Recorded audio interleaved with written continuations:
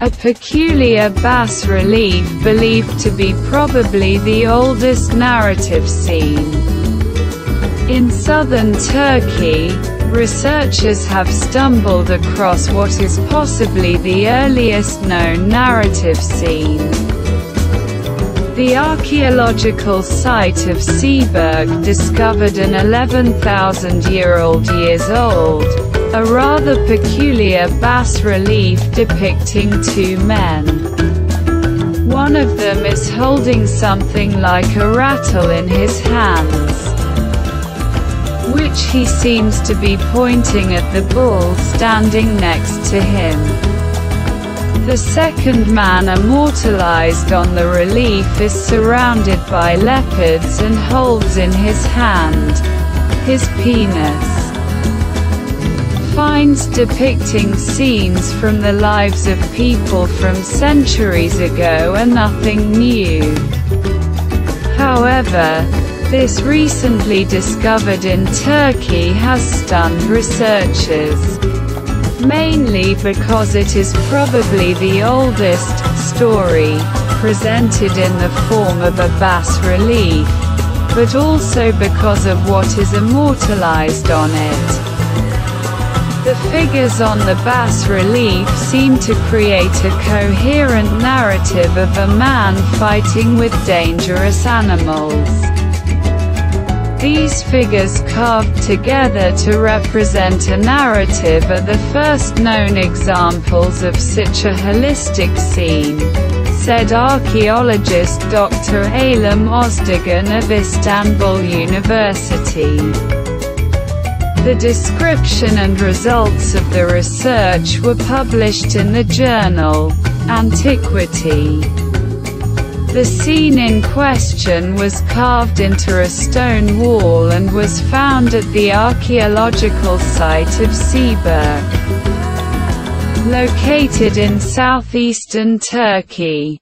Excavations at this site have been conducted since 2021. While this particular site is located under one of the modern villages in the province of Şanlıurfa. Archaeological research carried out there showed that the site was inhabited during the Neolithic period, probably in the 9th millennium BC. It is known that at that time there was a gradual transition from hunter-gatherer societies to those leading a settled life and engaged in e.g. agriculture. Archaeologists discovered several residential buildings in this place, but also a structure serving the entire community, where its members probably gathered at particularly important moments for them. There were even benches along the walls of this room, both in this and in other buildings. Various images of animals and people were found, but only in the case of one found near the benches mentioned above. They formed a coherent narrative. So far, no others of a similar nature have been found. The age of the discovered scene from the life of this early farming community is estimated at as much as 11,000 years ago. Years. Making it the oldest narrative scene in history. Dr. Eylem Ozdogan supposes that the characters placed in it were somehow unique to the members of this community and were an important element of its tradition. The scene immortalized in stone depicts quite specific interactions of people of that time with wild animals. The exaggeration of certain features of the latter was probably aimed at emphasizing how dangerous of them the figures depicted in this bas-relief had to deal with. On the left side of the stage we see a man crouching and holding a rattle or a snake in his hand, and opposite him stands a bull with huge horns. What we see on the right is quite peculiar and puzzling. There is another man surrounded on both left and right by leopards with huge teeth. This cornered man at the same time holds his stomach with one hand, and with the other, his phallus. It is difficult to understand the meaning of this scene. But perhaps the discovery of more similar scenes will shed new light on it. So far, the building in which it was found has only been partially excavated. So it is possible that archaeologists will also come across other such images of people and animals.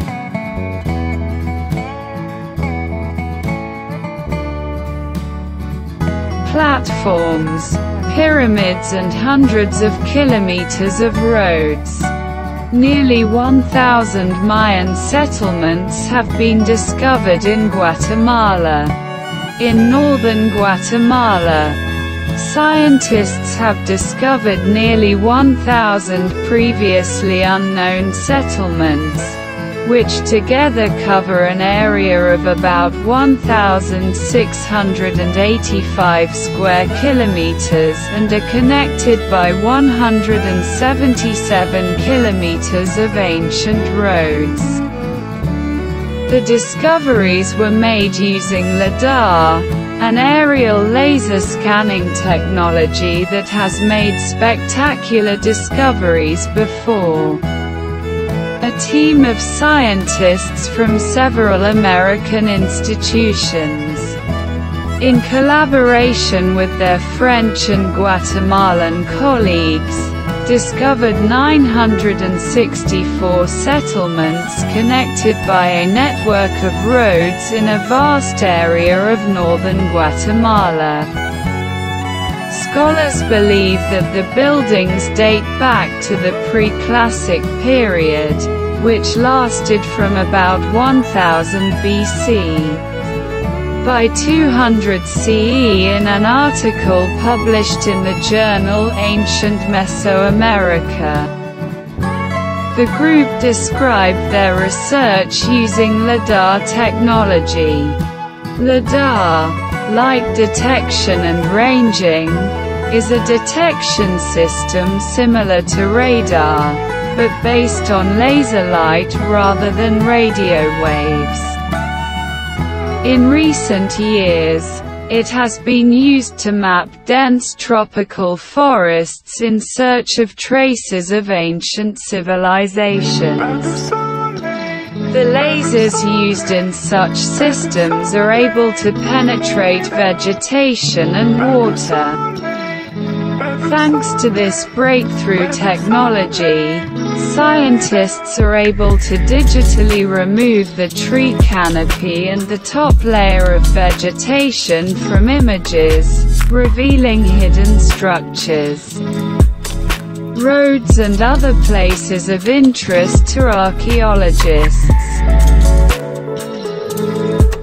LIDAR allows you to survey huge areas in a short time and with unprecedented accuracy. Otherwise, similar research would take months and would certainly not be done so carefully. LIDAR doesn't mean archaeologists aren't on site, but they know where the most interesting places are and where to go after seeing the aerial scan image. LIDAR has already proven its usefulness. In 2018, with the help of this technology, in the Guatemalan jungle, the ruins of over 60,000 houses, palaces and other structures that had been hidden from the sight of modern man for centuries were discovered. Thanks to LIDAR. Archaeologists also revealed the true size of the 40,000-year-old city of Angamuco, found a decade ago. Buildings and other structures. Thanks to this technology, the oldest and largest Mayan building, hundreds of ceremonial complexes from thousands of years ago, and the ruins of 11 cities and settlements belonging to an unknown culture were discovered.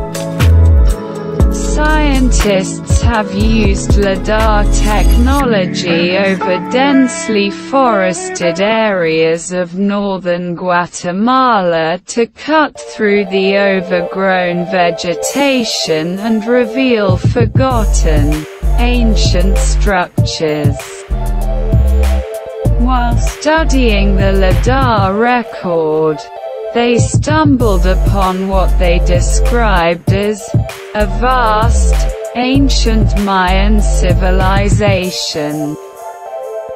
The LIDAR study revealed an unusually dense distribution of Mayan structures many of which are directly or indirectly connected by an extensive network of causeways.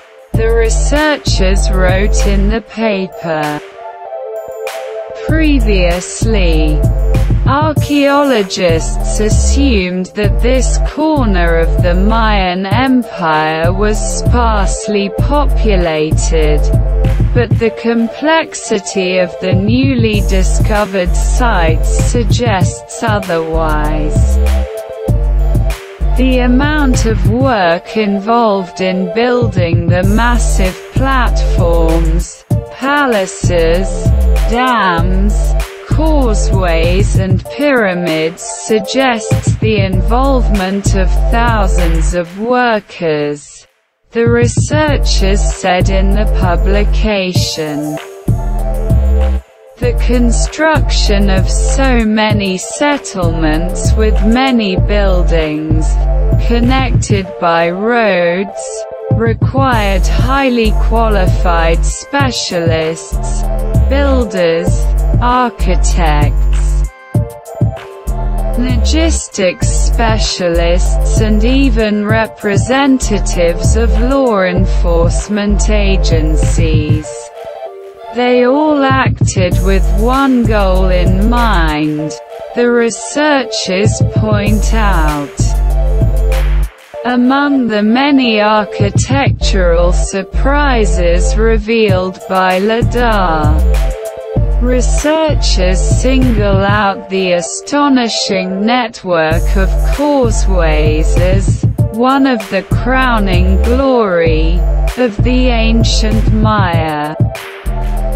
In total, the team identified 133 kilometers of roads connecting different settlements with a further 38 kilometers of dikes.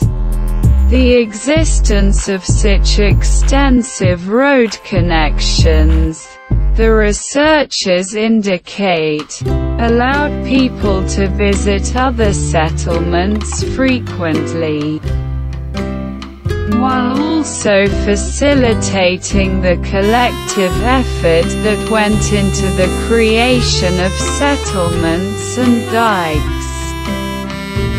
Large platforms and pyramids have been identified in some places, suggesting that they may have served as political centers.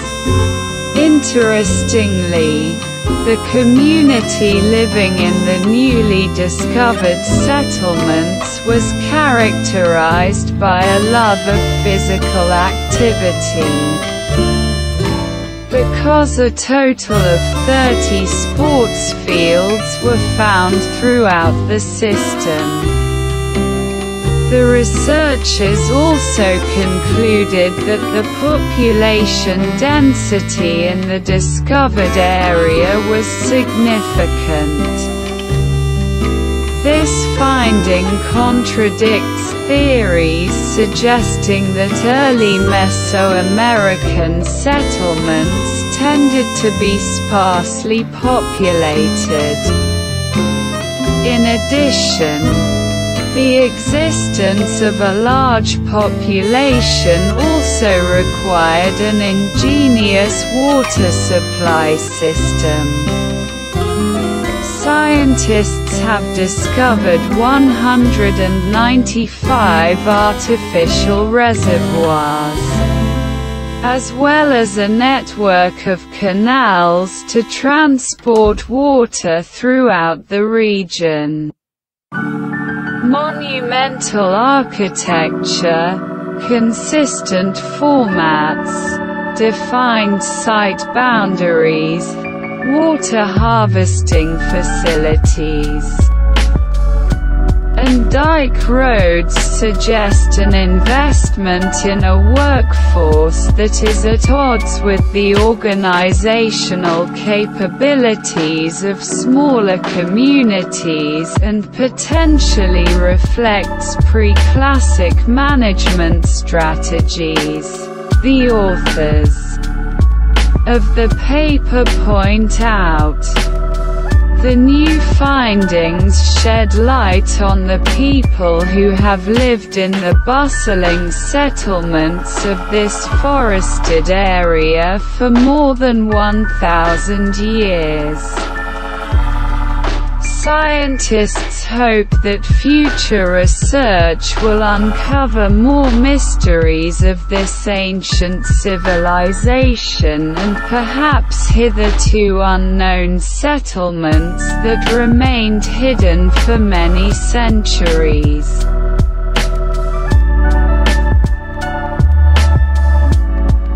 How and when did we domesticate cats?